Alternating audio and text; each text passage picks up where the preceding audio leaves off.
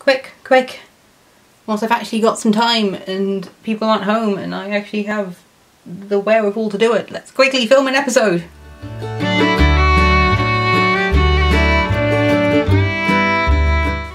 Hello, and welcome to The Art of Pointy Things, a channel where I discuss my adventures in knitting, sewing, embroidery, and other similar crafts. I'm Dusty, and today I'm doing the 10th episode of my monthly knitting and general crafting podcast, detailing what I've been made in the past two months since I spoke to you. I'm sorry it's been a while, um, but this is episode 10, and I'm happy that I'm sort of gotten to double digits. I'm honestly, I wasn't sure how many of these I would end up making when I started. I just knew I wanted to try it, and I'm really happy I've gotten this far. If you've been here and you've been watching since the beginning, or you've gone back and enjoyed my videos, then thank you very much. And if you're new here, then I hope you enjoy yourself and you consider sticking around. So, just for information, this episode does include both knitting and sewing. Um, so, if you don't enjoy some of the content, I've tried to put the chapters below with clear of which craft it is so that you can skip the content that you don't want to watch. Um, so, firstly, I'm not actually wearing any visible knitwear today. It is too hot. It is beginning to hit actual summer in England, in the southwest where I live.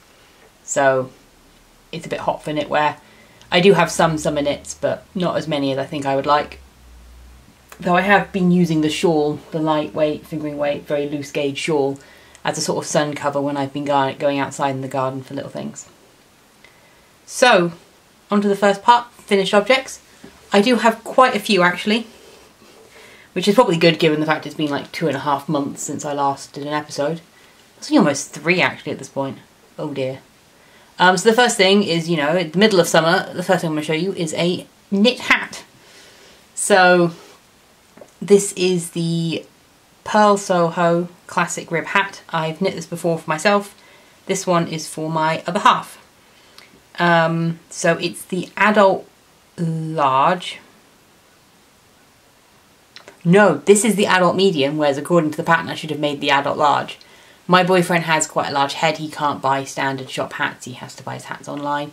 And this is big enough for him to wear when he's wearing headphones and to not like press into his ears painfully because that's what he finds with a lot of hats is that it might be okay you know especially the stretch ones it might be okay on its own but if he puts his headphones in then it can catch it he wants a slightly longer one so you could fold the brim up so I did that for him um, so this is uh, the yarn is West Yorkshire Spinners Colour Lab in the silver grey colourway, which is 100% British wool, which I'm all for, reducing shipping and is non-superwash.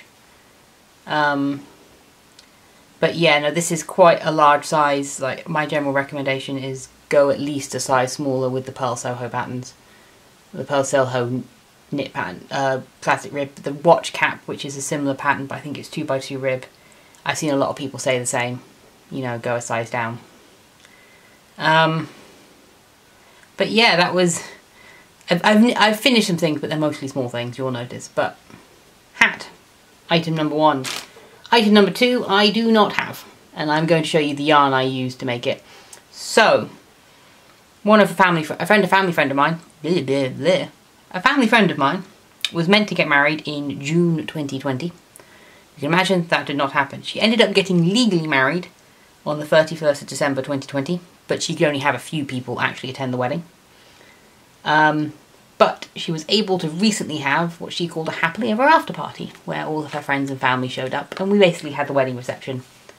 It was very nice. But in the meantime, she had a little baby. And I sort of, I think I sent again a gift with the original wedding invite. Um, but it felt a bit weird to be showing up with nothing and a few people have been knitting baby jumpers and I was just like, they look so small and cute and I don't have anybody else in my life been knitting baby jumpers for. Well, I do, I do sort of, but like, you know, they don't take very long. I've got some acrylic easy wash yarn sat in my stash. Very cute baby colours, you know, sort of pastel rainbow. It's absolutely adorable. And I was like, I'll knit her a jumper as a wedding gift. Bit weird, but I think she liked it. Um, so this is King Cole Candy Stripe. Does it say what Oh, Lollipop colourway. Yeah. My mother-in-law bought this at some point and she was like one pound a ball and she gave some of it to me. So I basically used an entire ball, I believe, to make the jumper, which was the Flax by Tin Can Knits. And I knit it on six millimeter needles because it's the pattern is for Aran weight yarn. I was using DK, this is DK weight. So I ended up knitting it on six millimeter needles with four and a half millimeter for the ribbing. The reason why it was so much smaller for the ribbing is I don't actually have any needle sizes in circulars between four and a half and six because I do a lot of my circular knitting on the smaller end of the spectrum. Um, but I don't have it to show to you. I didn't actually get any pictures of it, which was a bit stupid of me. Because it, it, took like a week to knit from start to finish, and then like the next week was the wedding. Um, I completely forgot to take photos. But in all honesty, just go to the flax. I'll link the flax pattern below in the description. Just go to the Ravelry page and you can scroll through all the pictures and you'll probably get an idea of this is what the yarn looks like and it will be a baby jumper. It's not the most... I mean, it's a nice pattern. It's very well written. A great starter pattern. But um, it's very much just a very nice raglan, simple pattern. Um, uh, next, next, what did I finish next? Ooh, we'll go with these. So, um, one of the reasons why this got late filmed is I went on holiday in late April to Tenerife for a week. And at the time, the only projects I had on my needles were 100% wool, non-superwash. And I don't know if you've ever sort of knit I mean, you might live, if you've ever sort of knit in a hot climate where you have to put sun cream on and there's sand and things like that, I've always struggled with wool because it is so grippy. You end up with like sun cream in your knitting. So this is going backwards in my normal format. This is the West Yorkshire Spinners, Spinners Signature 4 ply, which is their sock yarn. And uh, it's in the colour cornflower and it's a 75% superwash wool 25% nylon blend, which isn't the worst for knitting sort of with sun cream on, on the beach and stuff because the superwash makes it easier to clean all the stuff that you might get caught in it out. So I decided before we went that I'd cast on a sock pattern. So the sock pattern itself is from my first pattern I've tried from the 52 Weeks of Sock book from Laine magazine. And this is the Candle Flame sock, which I think is number 48. I might put it down below. Um, with a couple of modifications, which I'll go over in a moment. But in general, I love it. It's sort of got this textured pattern and then it's more obvious if I if you had it on a sock blocker the other way, but it's got this really nice sort of difference between just plain stockinette and this pattern along the front. It's really pretty. So, um, oh, the one modification, I, I did make a couple modifications, just personal. So the style of heel it had um, is just a normal slip stitch heel, which I've done before and is my sort of standard go-to sock heel. But when I was knitting the owly socks, it had the cable pattern on the owly socks go down into the, the heel flap, which I thought looked really nice. And also, you know, cabling is meant to be a bit more of a sturdy fabric. That's why you do the slip stitches. It creates a slightly more reinforced heel. So I decided to take the sort of generic pattern that they've got up here because it is a cabled style and bring it down into the heel flap. Now, in all honesty, I have no idea how well this is going to last. I might find that I wear these a few times and it's terrible and I never want to do this again I want to just go for the reinforced. But I like how it looks because it doesn't interrupt the flow of the fabric as much. When you sort of look at it, I think I think it works really well. Um, so I'm really happy that I did that.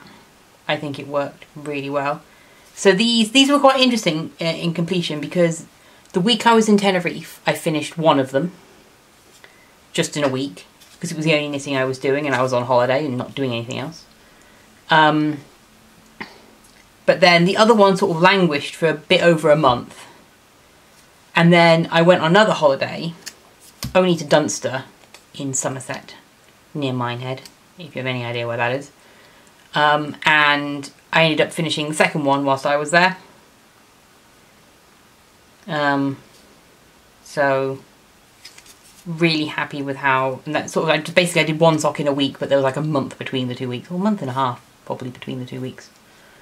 Um, so again, really happy with them. I think they're really good socks. I really want to get more into sort of the textured socks.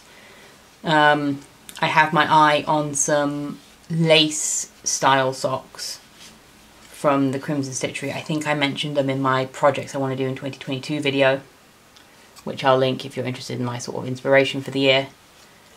Um, I've got some lace socks I want to work on. So I think that might be my next sock cast on. Oh, also these are just on my sock blockers I got for Christmas. I've got a little sheep on them. Um, they've not actually been properly blocked. I've just put them on here, but I do need to go and block them, as well as block one of my other finished objects, which hasn't been blocked yet, which I will get onto now, which is a brioche hat. So I would like to know, I have finished it. I've not, I've woven the ends in, but I've not trimmed them. There's a reason why this one's woven in on this side, it's because I find it easier with brioche. I want it to be reversible, so I didn't want it to be too obvious. But I tend to only trim the ends after I have blocked. It's a trick I've picked up somewhere, it just helps. You don't then cut it too short or too long. It's often better to... That's what I've heard anyway. Please tell me if you think the same down in the comments. Um, so, brioche hat. I didn't really follow a specific pattern for this. It was just a self-drafted figure it out as you go pattern. I did use the classic rib hat as a sort of basis for sort of almost how frequently to do the decrease on the top, though with brioche you do need to sort of pay attention because to get, you sort of have to take off two, two stitches each row, which means you have to fiddle with the numbers. And I've got some terrible laddering, which I'm hoping to maybe fix. I don't know. I don't think it looks too bad when it's worn. But the idea was to sort of have it reversible so you can look just as good this side as it looks on the other side with the red more open. But the other benefit is that then you can sort of flip the brim up and you've got this sort of different style brim. And I think that looks really good. So this is a birthday present for my dad whose birthday is in just over a month actually. So I have time. Um, but I, I've been trying this year. I have a tendency of finishing gift knits either on the way to go see people um, or something like that. So I really don't, I don't like doing that. It puts a lot of stress on me. So I've been trying to finish the gift knits I want to make earlier in the year. So I've got something also to make for my mum, which is one of the next things I want to cast on, um, who's got another August birthday. And then there's another, which is a late July birthday that I want to make, but it's quite a small thing. Um, but I do want to try and sort of get them done earlier in the year before I start panicking and trying to knit things on the way to places. But brioche hat yarn is actually the same West Yorkshire Spinners Colour Lab DK. This one is in the crimson red and the hazel brown colours, which I think go quite well. My dad is a massive fan of red, so he's going to absolutely love it. And the brioche, I mean, I, as I mentioned when I did the cowl I did last year, I think I've fallen in love with brioche. I love the fabric it makes. It's very thick and woolly, and yes, a bit of an odd present to give in sort of August, but I know my dad won't mind. He'll just save it for the winter. I do want to block it and see if I can get, I think there's a bit weirdness in the crown. I'm trying to figure out if I did the crown decreases too quickly. It fits on my head nicely, so it'll fit on my dad's probably quite well. But yeah, just a brioche hat, simple six point de decrease. Yeah. So that's all my finished knitting items. Um, I have got a finished sewing item, but feel free to skip if you're not into the sewing, which are, I made two new project bags. These still have, oh this one rattles, one moment. Right, no longer rattles. I still have the ends of the project, so I need to put the yarn away and the needles away.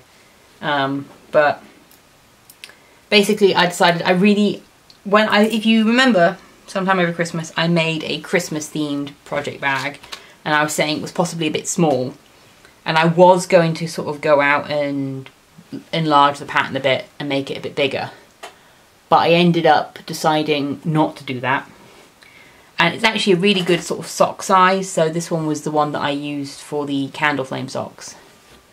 And it's like you can fit a ball of yarn in and all the needles fit in nicely. So it's not the end of the world.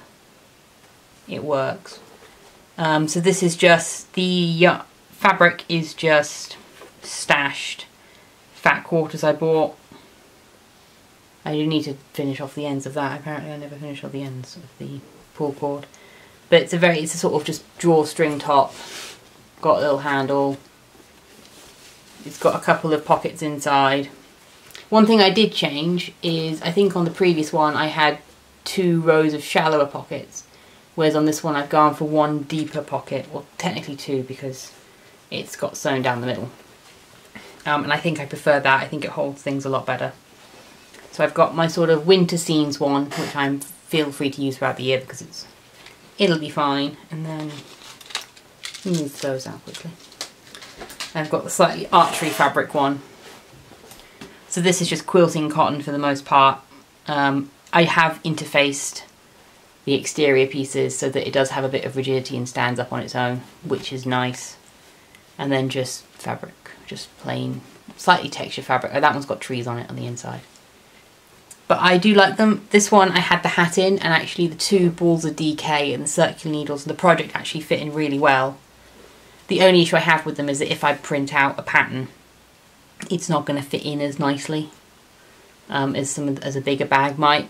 But in all honesty, if I'm doing socks, I can now do socks mostly for memory by now. So it's just trying to figure out a pattern if there is a pattern or not. So yeah. I'm actually really happy with those and I have been using them religiously. There's always a project in them. I now need to...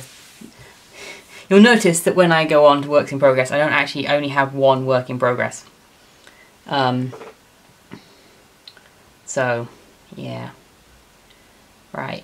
Uh, if you've made it this far, thank you for watching. If you're enjoying yourself, then please consider leaving a like and comment and maybe subscribing. I try to put out a sort of creating crafting podcast every month. I have missed the last few, um, but I, I, should hopefully be going back to monthly. Um, I do also upload some other videos, so you can go check them out. But um, thank you for watching so far. So then on to works in progress. So the first one I'm going to bring out is if you watched the last video, you might recognise this little swatch I did of a Christmas jumper. I ended up doing a few other swatches, some of which got ripped out, some of which didn't. This was sort of the final one I ended up liking. So a lot of it was trying to practice holding the yarn, tensioning the yarn. I think what I actually found out is that I think last month I was mentioning the difference of working in different circumferences.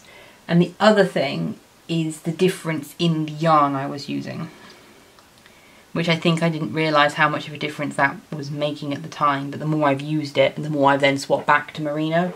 So, for reference, for example, this is one of my swatches for the merino.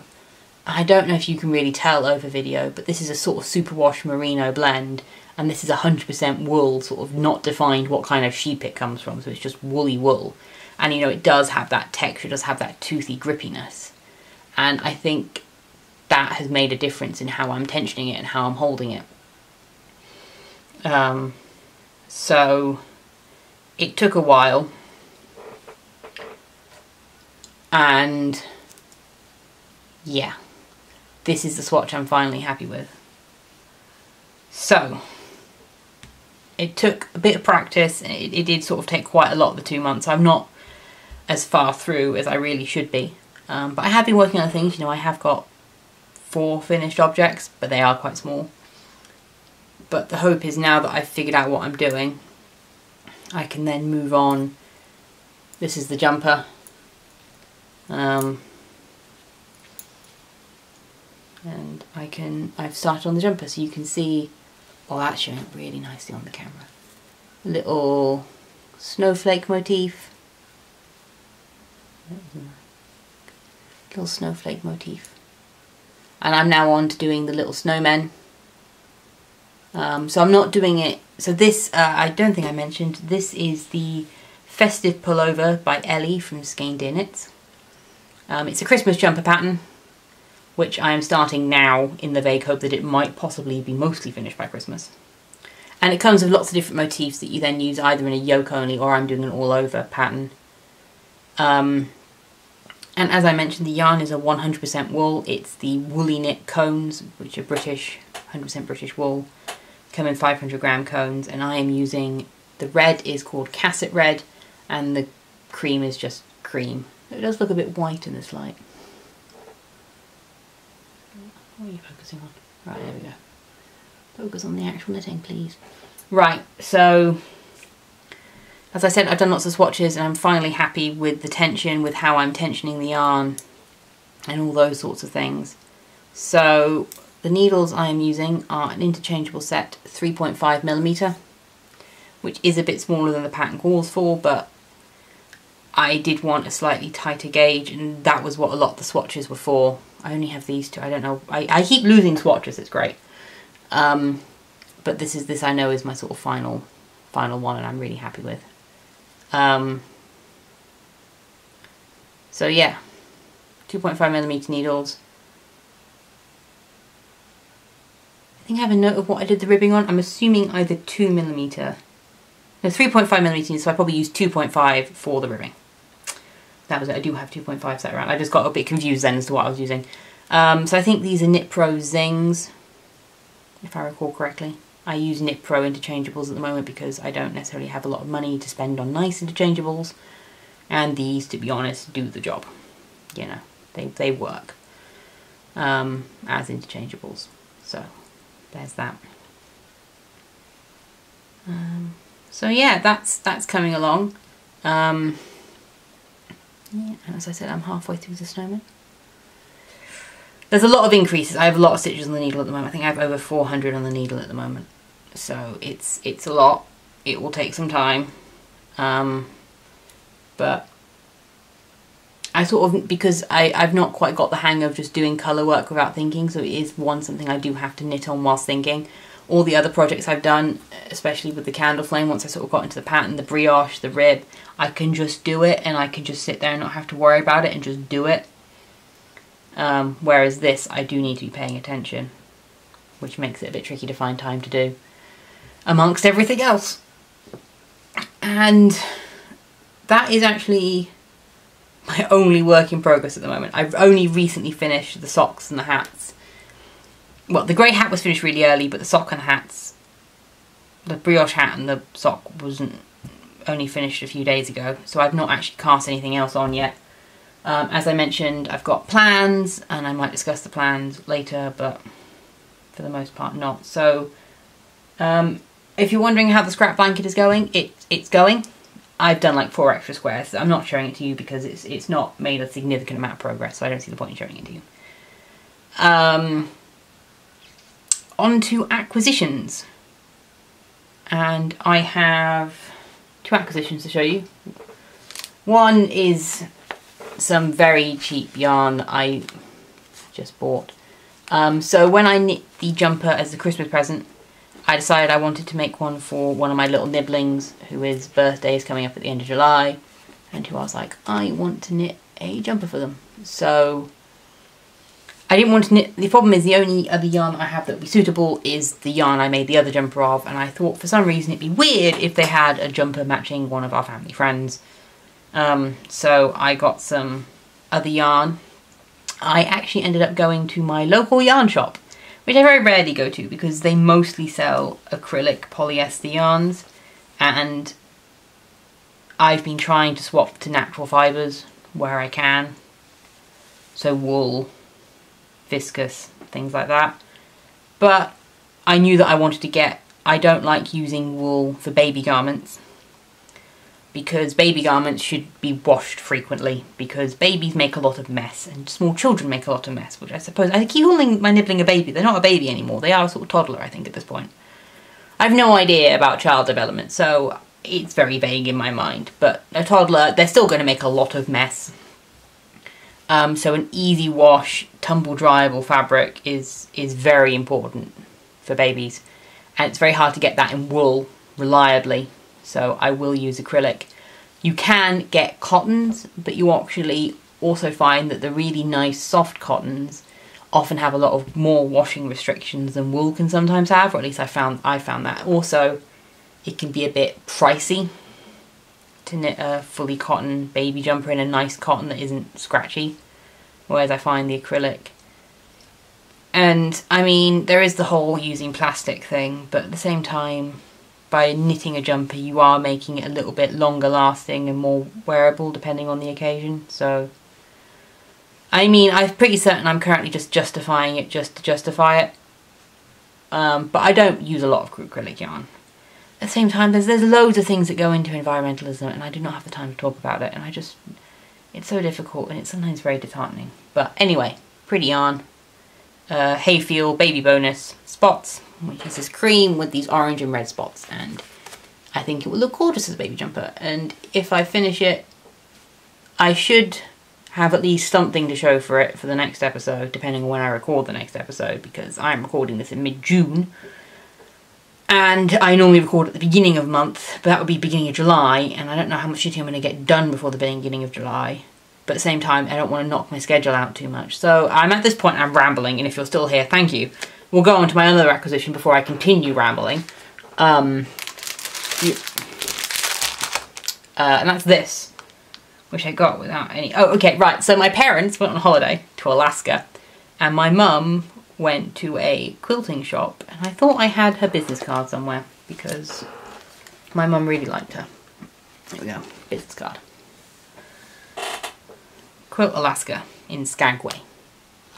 Um, and if you aren't aware, we have a rescue dog. She is part husky and so she looks very wolf-like. Um, she's not a wolf. She's not a wolf dog. She is definitely husky, but she just does. So my mum got me some wolf quilting fabric. So I think it's like a six panel with different wolves doing different things.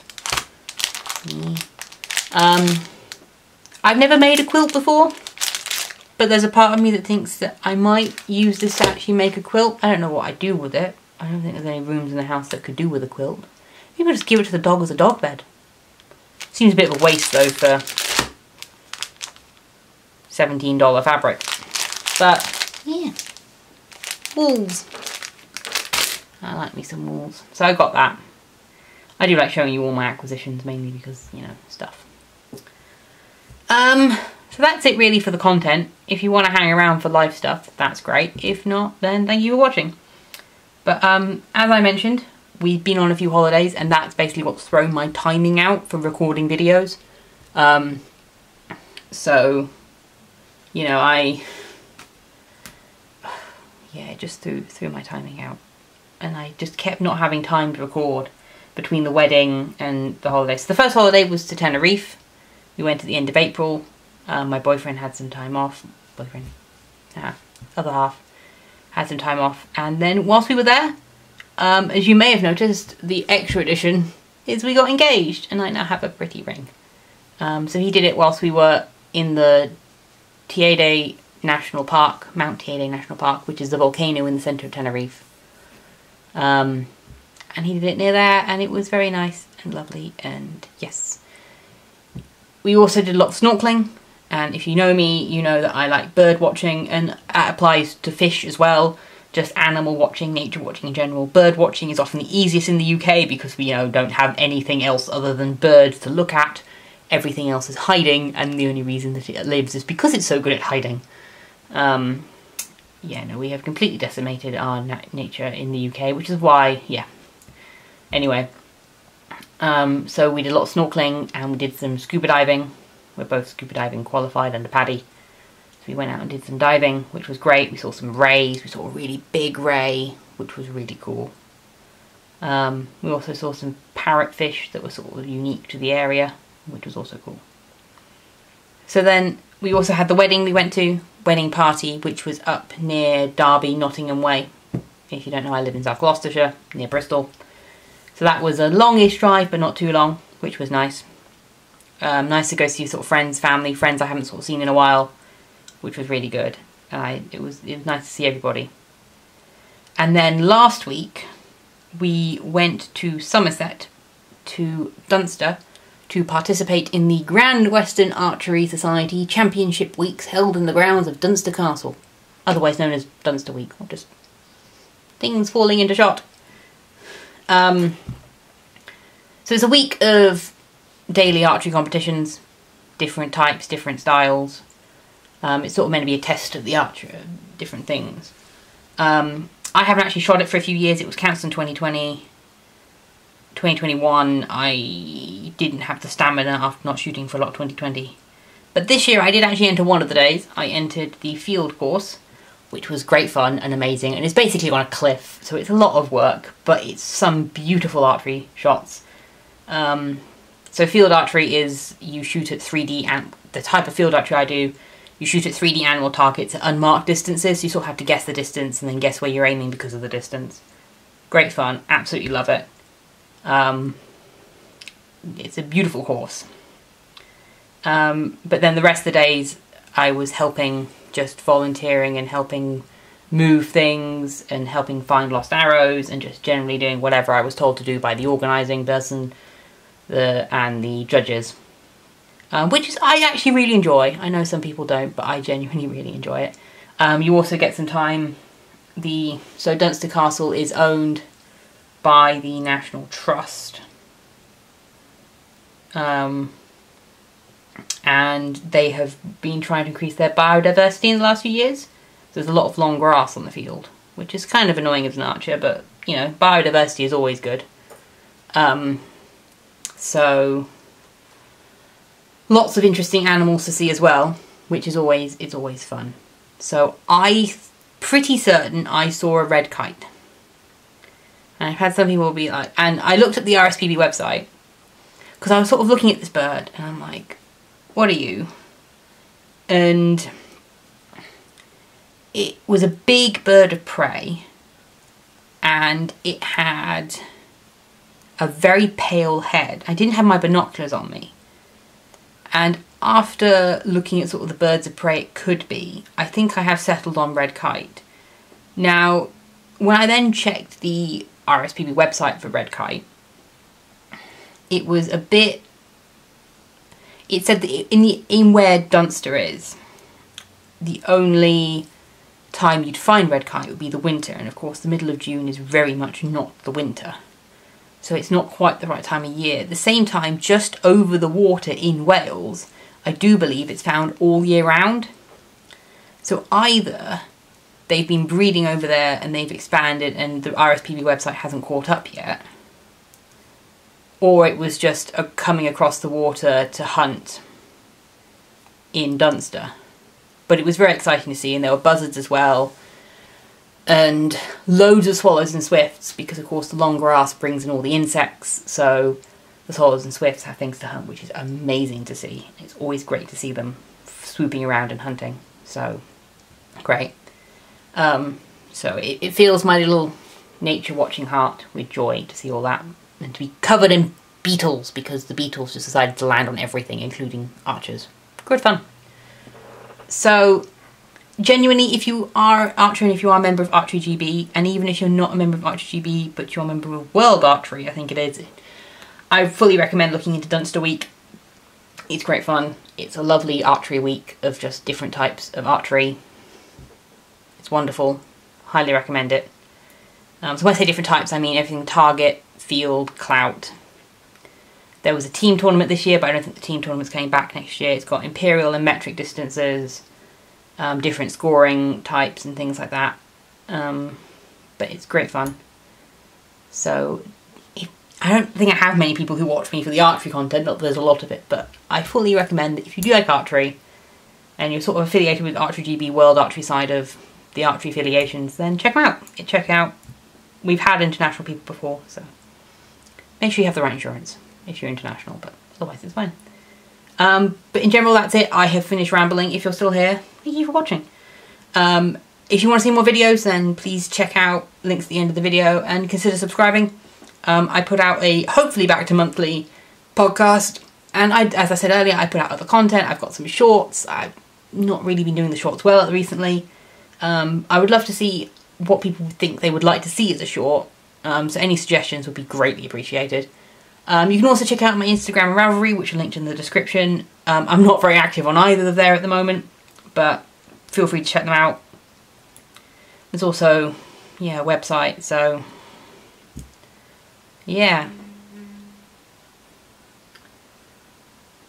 Um, thank you for watching and have a beautiful day.